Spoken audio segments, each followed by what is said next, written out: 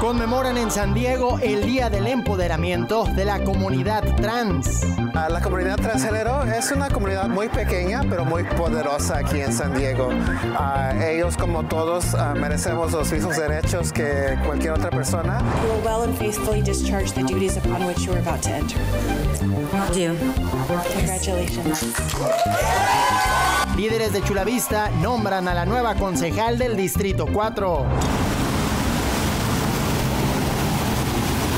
Se manifiestan para exigir la localización de un ingeniero desaparecido en Tijuana. que lleguen a ese punto donde supuestamente no podemos ni entrar nosotros ni las autoridades. A mí me han dicho que, que es un lugar muy difícil para entrar.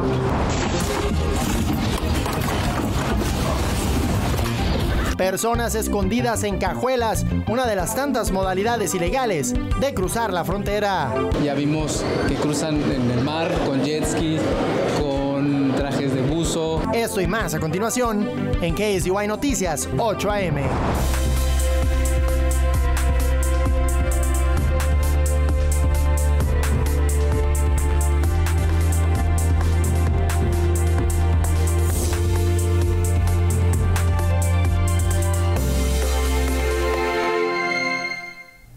¿Qué tal? Muy buenos días, bienvenidos a KSUI Noticias 8 AM, la primera edición informativa de su canal 50.1. Me da como siempre mucho gusto saludarle. Soy Edgar Gallego, lo invito para que se quede con nosotros en esta mañana de lunes con estos 30 minutos de información. Y mire, hoy 8 de abril destapamos nuestro calendario juntos como cada mañana. Nuestra querida María Félix, recordemos hoy, un día como hoy, su nacimiento. Actriz mexicana conocida como la diva de la época dorada del cine mexicano, fue la más icónica representante de la pantalla grande en México a nivel internacional, participando en reconocidas películas en diferentes países de Europa. Conocida como María Bonita o la Doña, se convirtió en un referente de estilo de la época por su extravagante gusto y su personalidad irónica. María de los Ángeles Félix Güereña nació en Álamo, Sonora, un día como hoy, pero de 1914. Contrajo matrimonio en 1931 con Enrique Álvarez a la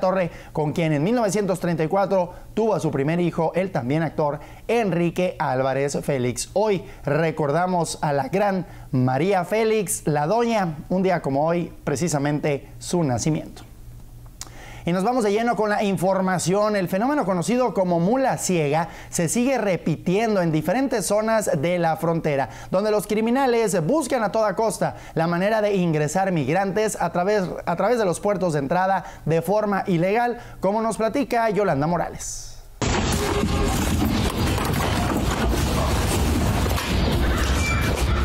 En este video se ve a una persona saliendo de la cajuela de un vehículo. Esta imagen se volvió viral luego de que sea frecuente el aumento de cruces irregulares para ingresar a Estados Unidos. Este momento se captó en la zona de la mesa en Tijuana. A este lugar acudieron elementos de la policía municipal. Ya hemos tenido algunos casos, particularmente en centros comerciales, donde de repente el, el ciudadano regresa a su vehículo, abre la cajuela porque va a meter las cosas que compró y se encuentra con que hay una o dos personas ahí, que alguien les abrió la cajuela y les dijo, ahí métanse y los van a llevar hacia los Estados Unidos. Entonces, Este fenómeno se llama mula ciega. Los criminales buscan la forma de ingresar a migrantes a través de los puertos de entrada de forma ilegal. Los cruces irregulares eh, se podrían asimilar mucho el- como el cruce de drogas. O sea, buscan las maneras de cómo cruzar, diversifican la forma. El crimen organizado busca las formas irregulares para entrar a Estados Unidos, las mil y un maneras de cruzar la frontera. Ya vimos que cruzan en el mar con jet ski, con trajes de buzo, con tablas de surfear. Hemos visto que clonan patrullas de bordo patrol. Escalera, hemos visto alcantarillas. Hemos visto que también usan a los migrantes como mulas ciegas y ahora esto, ¿no? Y funcionarios relacionados con la seguridad llaman a que las personas que cruzan de manera frecuente hacia Estados Unidos revisen su cajuela. Los usuarios de las garitas conocen el actuar de los criminales en los casos de mulas ciegas y temen al cruzar a Estados Unidos. Pero sí está muy mal. Pero sí está muy mal todo porque eso. el gobierno de Estados Unidos, pasando droga, te detienen y duras tres, cuatro meses sí tener culpa. Las mulas ciegas se han visto en centros comerciales en la ciudad de Tijuana y en zonas cercanas a las garitas de entrada a Estados Unidos. Para KSY 50 en San Diego, Osvaldo Samaniego y Yolanda Morales. Un juez federal en Los Ángeles, California, ordenó a los funcionarios de la patrulla fronteriza a procesar y reubicar rápidamente a niños migrantes de, centros de detención al aire libre en el sur de California, donde los defensores han documentado condiciones desfavorables que pueden perjudicar la salud de los menores. Según ese acuerdo judicial, el gobierno de los Estados Unidos acordó brindar servicios básicos a los niños migrantes, incluso albergarlos en instalaciones seguras y sanitarias. Se informó que en 2024 el sector de San Diego fue el segundo sector de la patrulla fronteriza más transitado por cruces ilegales y de acuerdo a datos oficiales ha tenido un aumento del 72% en comparación con el año 2023.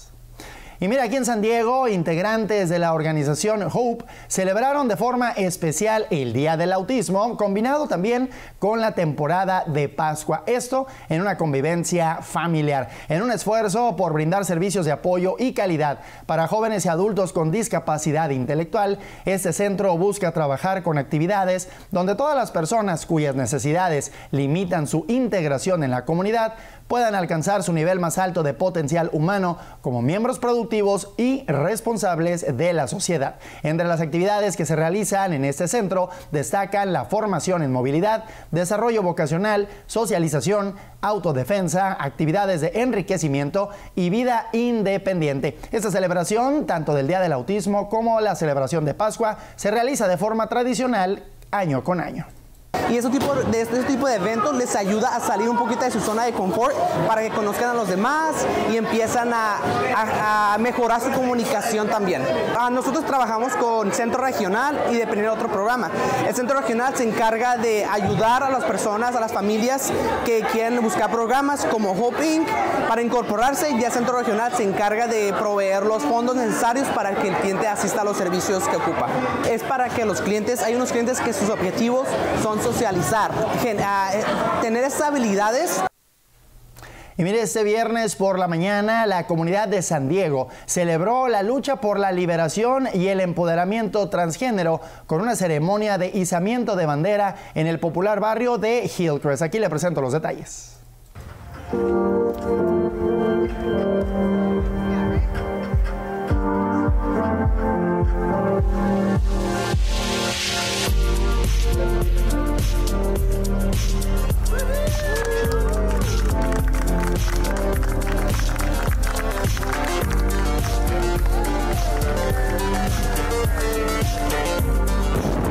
Hoy estamos celebrando el Día de Empoderamiento Transgénero aquí en San Diego. Es un día festivo para la comunidad transgénero y estamos muy felices aquí para celebrar con la bandera Trans Pride aquí en Hillcrest.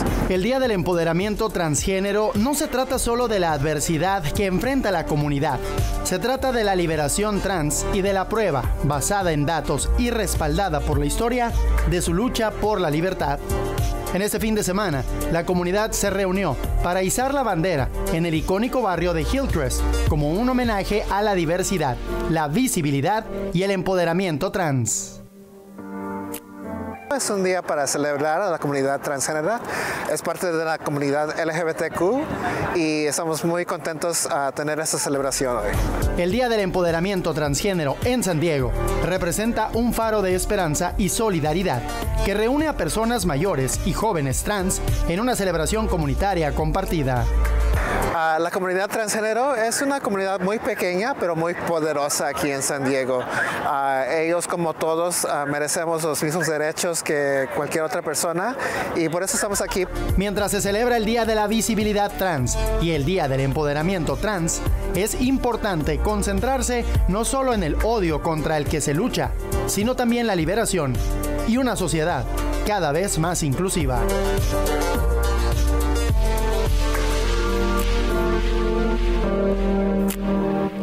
Para KCY Noticias Edgar Gallego.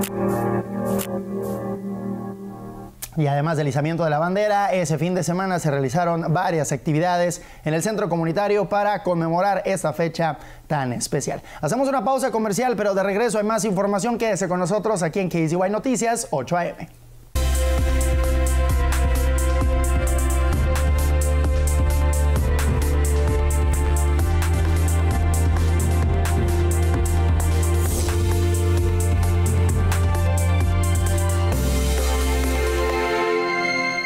Tus personajes favoritos de Disney están de vuelta en la ciudad. Disney on Ice presenta Mickey Search Party, trayendo la magia al Pechanga Arena San Diego del 11 al 14 de abril. Únete a Mickey, Minnie y la pandilla mientras embarcan en una búsqueda épica para encontrar a Tinkerbell. Sigue su viaje a través de mundos inspirados en Coco, Frozen, Toy Story, Moana y más. Experimenta la emoción del entretenimiento en vivo con actuaciones impresionantes, visuales deslumbrantes y tu música favorita de Disney. Consigue tus boletos en disneyonice.com y crea recuerdos que durarán toda la vida. No te lo pierdas. Somos parte orgullosa de la comunidad diversa y apasionada de San Diego. Queremos ayudarlo a hacer más con sus finanzas y a que viva su vida en sus propios términos. Estamos comprometidos con usted. Visítanos en línea en mypointcu.com.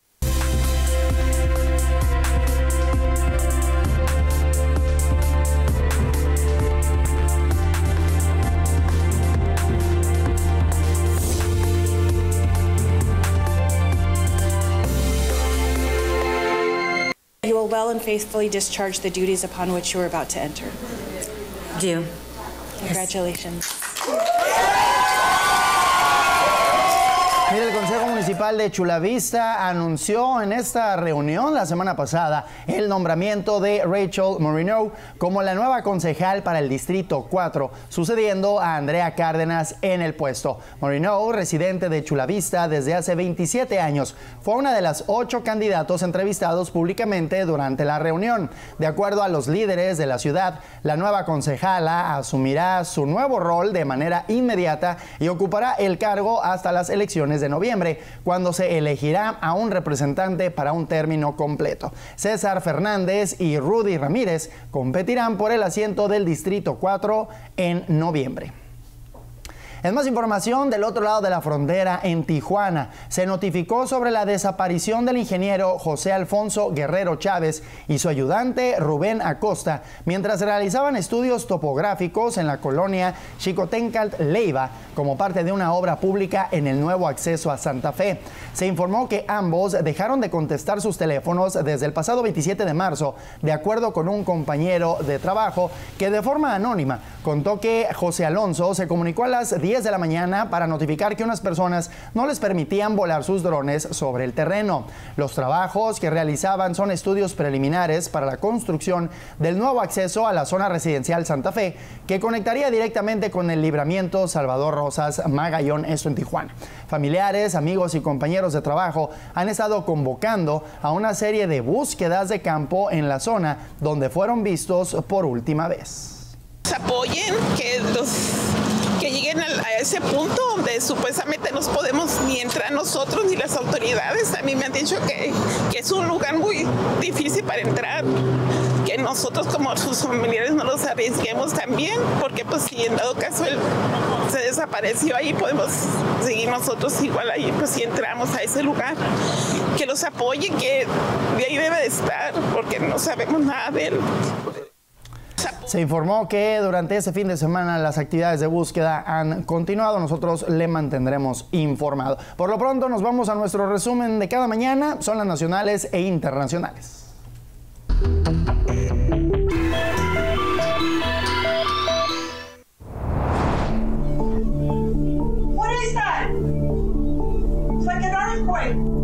Terremoto en la ciudad de Nueva York y su periferia tuvo lugar el día de hoy. El sismo se registró a las 7.23 de la mañana, tiempo del Pacífico.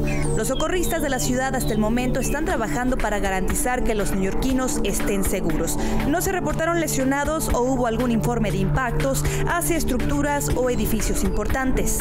En un mensaje del alcalde de la ciudad de Nueva York, Eric Adams, hacia sus residentes, animó a todos los neoyorquinos a no entrar en pánico y mantener la calma por si llegaran a aparecer hacer más réplicas en los próximos días, además de mantenerse alerta junto con sus seres queridos.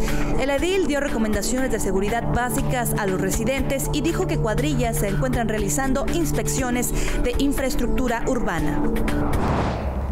Este 8 de abril, un eclipse solar total cruzará América del Norte, pasando por México, Estados Unidos y Canadá. Este fenómeno astral sucede cuando la luna pasa entre el Sol y la Tierra, bloqueando completamente la cara del Sol. La seguridad es la prioridad número uno al ver un eclipse solar total, así que asegúrese de saber cuándo necesita usar protección ocular especializada diseñada para la visualización solar.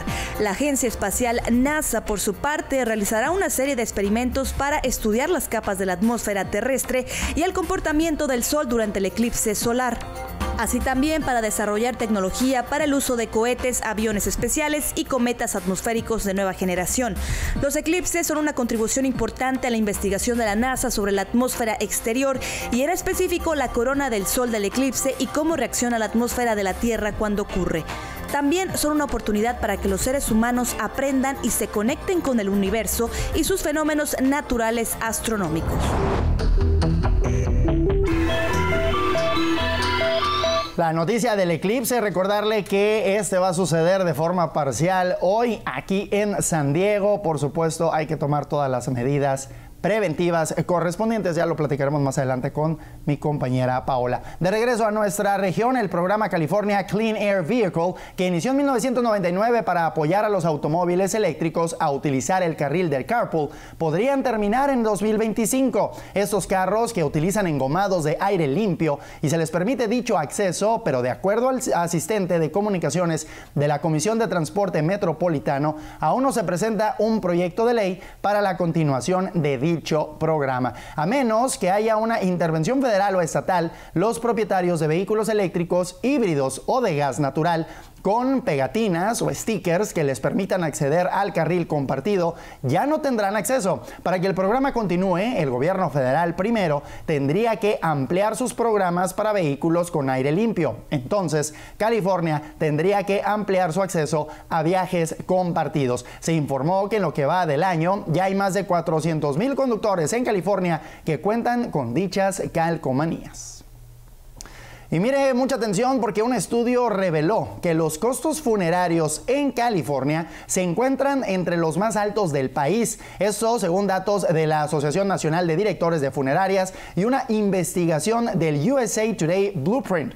Con un costo promedio de 11.495.50 dólares, California se encuentra en la lista de los cinco estados más caros para ser sepultado. Planificar con anticipación es clave para reducir los costos, según el vicepresidente presidente de la Junta Directiva de Funeral Consumers Alliance de Los Ángeles, California. Esto permite investigar precios, compartir deseos finales con familiares y amigos y considerar opciones como donar el cuerpo a la ciencia. Otras formas de mantener bajos los costos incluyen limitar los servicios opcionales como el embalsamamiento y considerar lugares alternativos para la ceremonia como celebrarla en casa o en una iglesia que generalmente son menos costosos que las funerarias. Si bien es un tema del cual pues no siempre estamos listos para hablar, pero cuando se trata de economía, definitivamente hay que tomar cartas en el asunto. Hacemos una pausa comercial, de regreso viene la información del clima, la acción deportiva y más información en KZY Noticias 8 AM.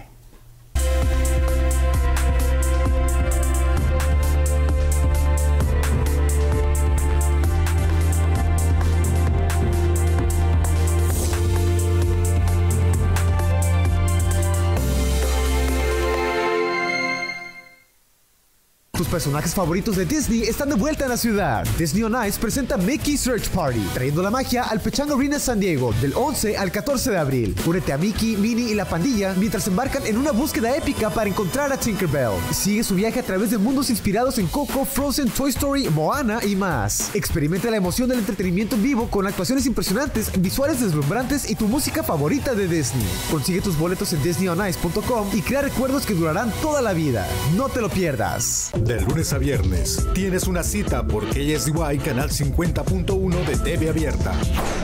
KSY Noticias 8 AM con Edgar Gallego. KSY Noticias 7 PM con Fernando Martínez. KSY Noticias 11 PM con Maciel Chaidez. KSY Noticias, para la comunidad, para ti.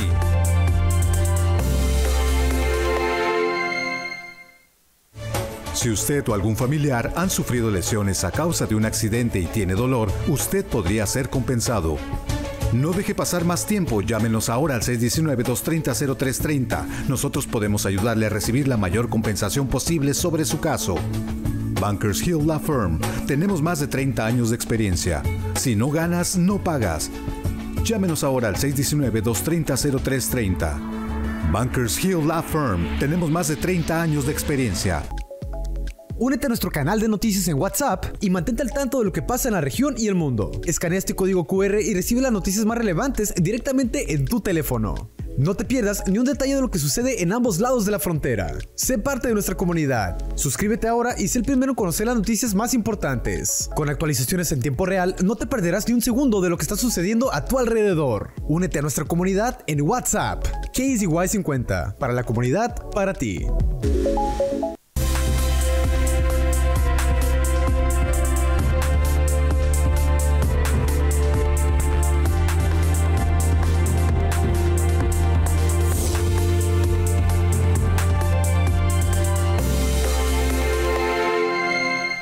Ya estamos de regreso, gracias por continuar con nosotros. Saludamos como cada mañana a nuestro público televidente en ambas Californias y por supuesto usted que sintoniza también esta transmisión a través de nuestro canal oficial en YouTube. Y mire, la construcción de la nueva Terminal 1 en el Aeropuerto Internacional de San Diego alcanzó ya el 60% de su proceso, según informó un portavoz del aeropuerto. Destacó que las molestias temporales causadas tanto por conos en el tráfico y desvíos valdrán la pena por la nueva vía de acceso directo desde Laurel Street hasta el aeropuerto. Se espera que la primera fase de este proyecto quede finalizada para el próximo 2025, mientras que la totalidad del proyecto tan ambicioso se completará para el 2028. Esta nueva construcción promete añadir 30 nuevas puertas para mejorar la capacidad del aeropuerto y mejorar también la experiencia de los usuarios. Además, el proyecto incluirá una nueva plaza de estacionamiento con alrededor de 2.800 espacios adicionales cuya apertura está prevista para agosto. Así que todavía tenga usted paciencia, por favor, si acostumbra o tiene programado algún vuelo que salga o llegue del Aeropuerto Internacional de San Diego porque continúan los trabajos de reparación. Y tal y como le hemos estado informando, hoy 8 de abril pues quedará marcado en el calendario para la posteridad como el día en el que tuvimos la oportunidad de presenciar de nueva cuenta un espectáculo natural de la talla de un eclipse de sol. Recordar que aquí en nuestra región solamente se verá de forma parcial, pero hay que tomar muchas precauciones. Así nos lo informa, además del pronóstico del clima, mi querida Paola Guerrero. Buenos días, Paola. ¿Qué tal Edgar? Muy buenos días. Y así es, hay que tener mucha prevención, ya que en unas horas vamos a tener lo que va a ser este increíble eclipse. Así que, por favor, en casita cuiden a los pequeños y por supuesto usted que está allá, que es el adulto, también cuídese y evite estar mirándolo directamente al sol. Pero bueno, ¿qué les parece si ahora conocemos cómo va a estar el clima el día de hoy?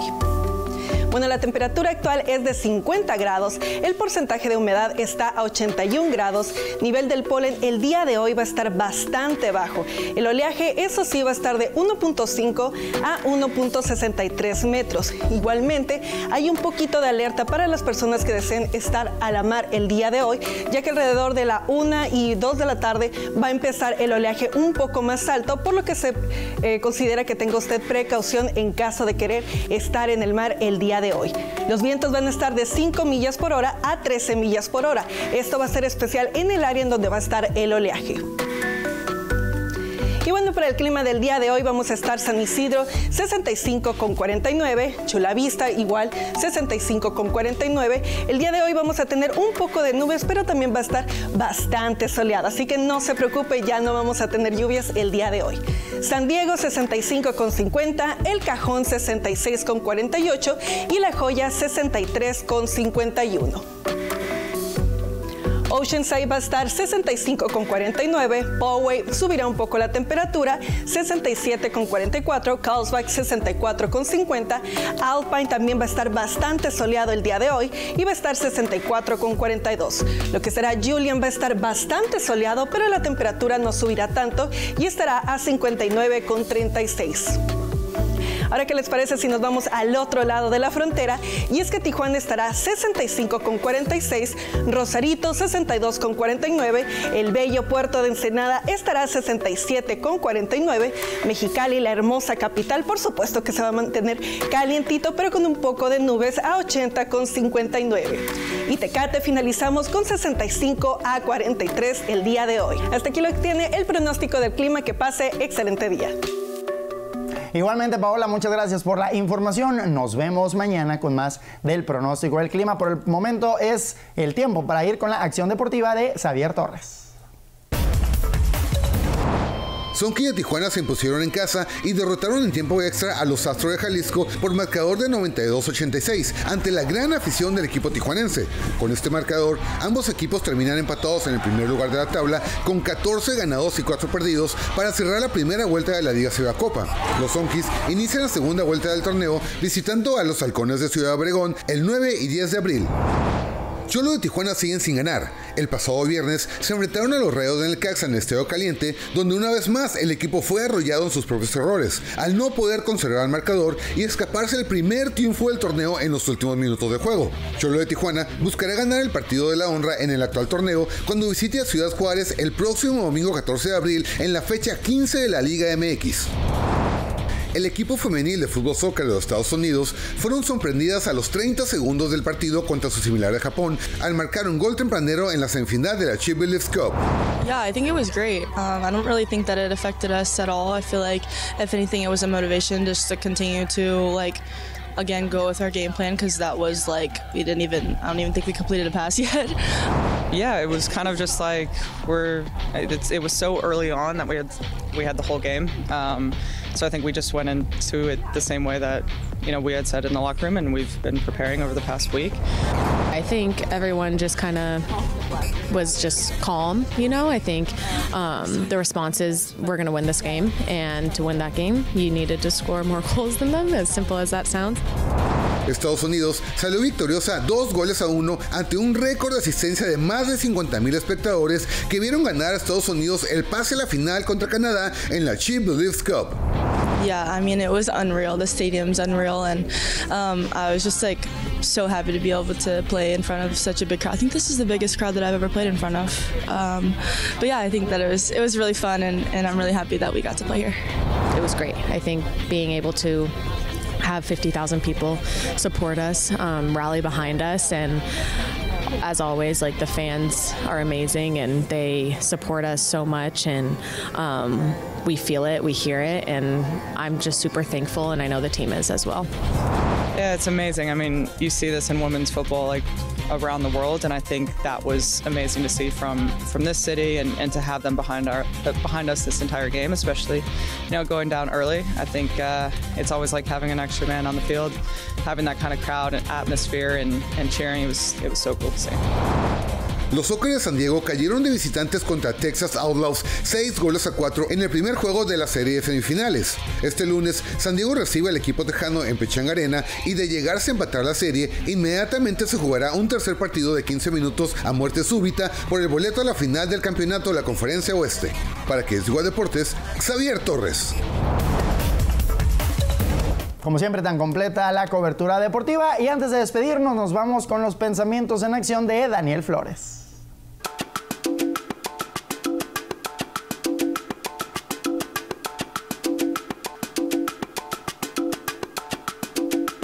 Muchas gracias Edgar, aquí nuevamente en Pensamientos en Acción. Si realmente existiera el secreto para lograr cualquier objetivo en la vida, serían dos cosas. Hacer las cosas a tiempo y de mejor manera. Así que cuida tu tiempo y cuida el tiempo de los demás. Tú a lo tuyo, cuida tu salud y por favor sonríe. Saludos.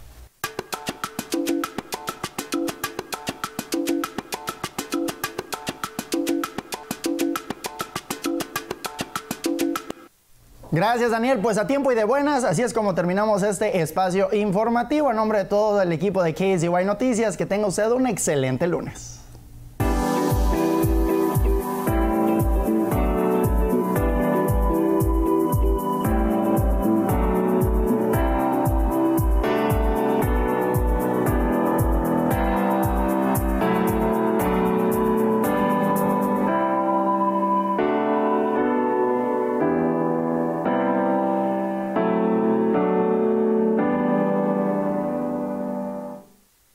KSY Noticias fue traído a ti por Bankers Hill La Firm, abogados de accidentes.